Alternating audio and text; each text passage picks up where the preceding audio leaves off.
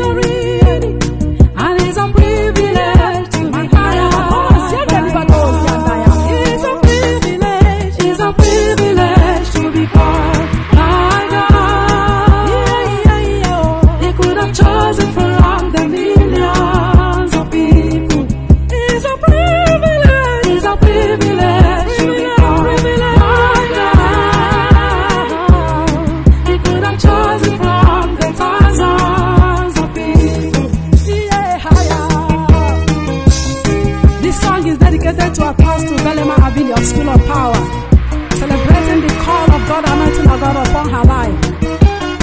And to all her sons and daughters all over the world, preaching the gospel of God that have answered the call of God.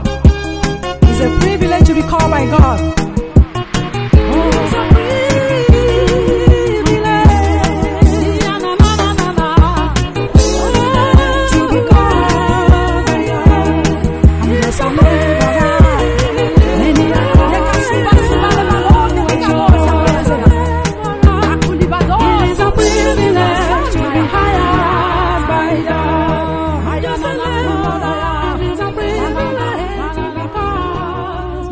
heart.